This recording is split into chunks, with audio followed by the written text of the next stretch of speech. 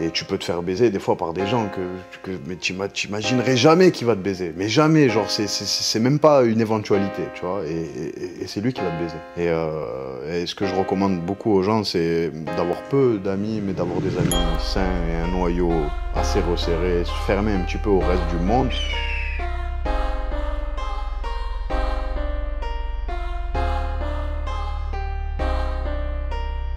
DKR à la prod.